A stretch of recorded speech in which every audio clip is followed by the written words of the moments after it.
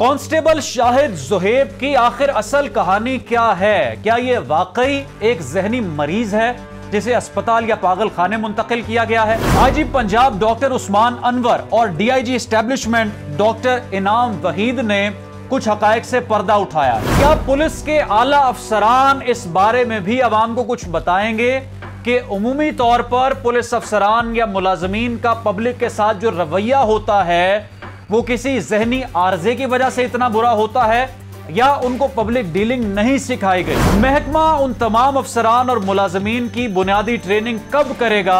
जिन्हें आम शहरियों से मुखातिब करने का तरीका भी नहीं आता। पंजाब पुलिस के 200 मुलाजमीन का चेकअप किया गया है। उनका ट्रीटमेंट जारी है और आखिरी मराहल तक पहुँच रहा है। पुलिस मुलाजमीन की एक बड़ी तादाद मेंटल हेल्थ चेकअप और साइकोलॉजिकल स्क्रीनिंग से खौफजदा दिखाई देती है। उन्हें डर है कि अगर उनका जहनी मर्ज दुनिया के सामने आ गया या उनके आला अफसरान को इस बारे में पता चल गया तो कहीं वो अपनी नौकरी से हाथ ना धो बैठे। आज आईजी पंजाब, डॉक्टर उस्मान अनवर साहब ने बड़ी ज़बरदस्त गुफ्तगु की। कौन सा आयन और कौन से आयन के शिक किसी भी शख्स को ये इजाज़त देती है कि वो माइक और कैमरा उठाए और किसी की भी प्राइवेसी को इन्वेड करे। नाम निहाद यूट्यूबर्स ने इस मुल्क में तबाही मचा रखी। किसी शख्स के पास ये इख्तियार नहीं है कि वो अपना यूट्यूब चैनल बनाए और लोगों की इज्जतें पामाल करता फिर। किस बुनियाद पर और किस कानून और कायदे के तहत ये लोग कैमरा और माइक उठाकर लोगों की इज्जतें पामाल करते हैं? अस्सलाम वालेकुम। आप देख रहे हैं कैपिटल वीलॉग्स और मैं रुखशान मीर।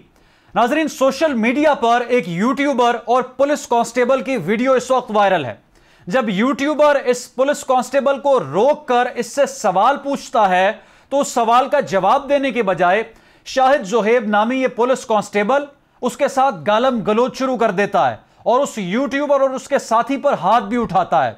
जब यूट्यूबर की जानब से आईजी पंजाब और सीसीपीओ का नाम लिया गया तो इस पुलिस कांस्टेबल की जानब से अपने ही आला पुलिस अफसरान को गालियाँ भी निकाली गई। इस वीडियो में मैं आपको उन सवाल के जवाब देने की कोशिश करूँगा, जो पुलिस कांस्टेबल शाहिद जोहेब पर उठाए जा रहे हैं और जो बयान आईजी पंजाब और डीआईजी एस्टेब्लिशमेंट ने वीडियो में दिया है। नाजरीन, सबसे पहले तो हमें यह समझने की ज़रूरत है कि पुलिस समेत वो तमाम महकमे जिनके मुलाजमीन आउटडोर ड्यूटी सर अंजाम देते हैं और खा मौसम कुछ भी हो, सख्त सर्दी हो बरसात का मौसम हो या शदीद गर्मी हो, या हमें सड़कों पर दिखाई देते हैं।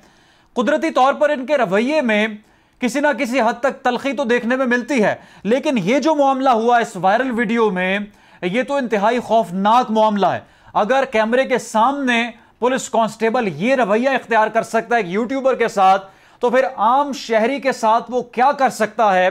इस सवाल का जवाब तो कोई भी देखने वाला शहरी भी दे सकता है।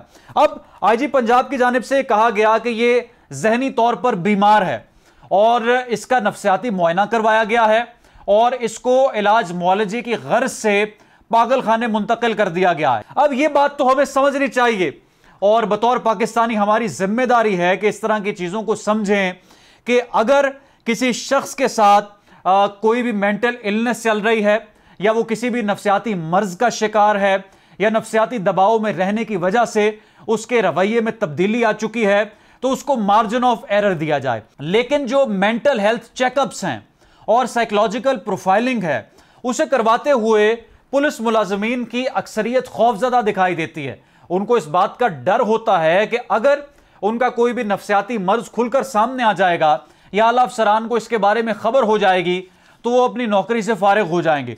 और नौकरी महफूज रखने के लिए वो इन टेस्ट की तरफ़ नहीं जाते और साइकोलॉजिकल प्रोफाइलिंग से और इन तमाम मेडिकल हेल्थ चेकअप से अपने आप को बचाते हैं। अब इस हवाले से तो डीआईजी स्टैब्लिशमेंट ने आज जो बयान दिया है, वो तो यही कहते हैं कि इनको नौकरी से फारिग नहीं किया जाएगा। इनको जो है अपनी नौकरी पर कायम रखा जाएगा और इनका इलाज मुआवजा भी होगा। लेकिन मैं ये सवाल यहाँ पर इस वीलॉग में उठाना चाहता हूँ।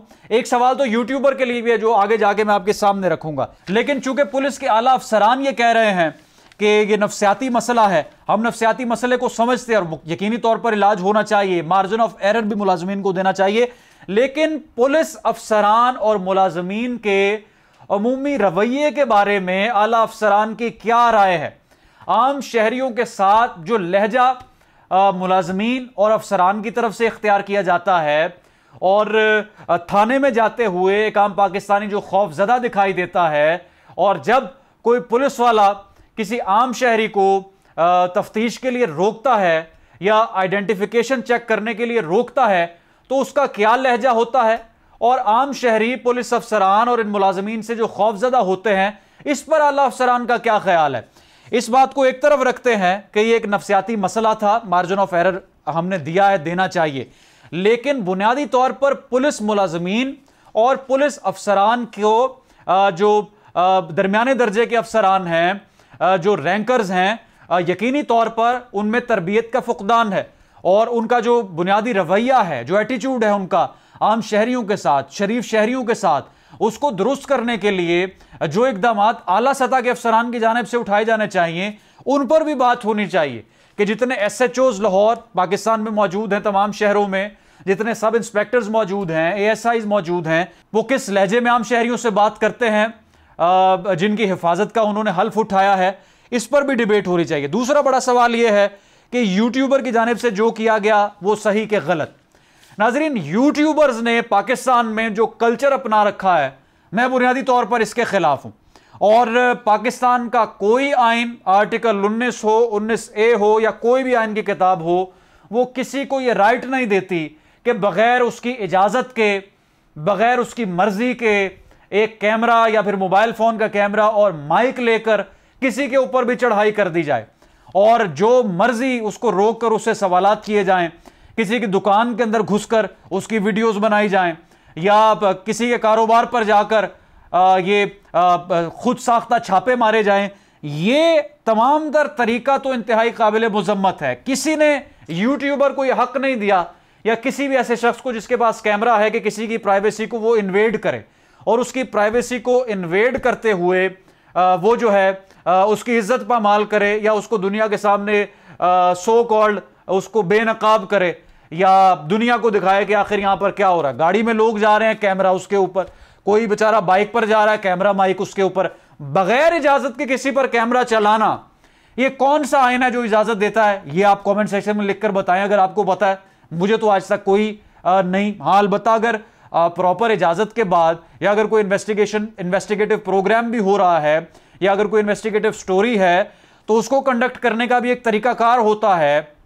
आप डॉक्यूमेंट्स की बिना पर, शवाहिद की बिना पर अगर किसी स्कैंडल को एक्सपोज करते हैं या किसी काले धंधे को अगर आप दुनिया के सामने लेकर आते हैं तो उसका भी एक प्रॉपर तरीकाकार होता है।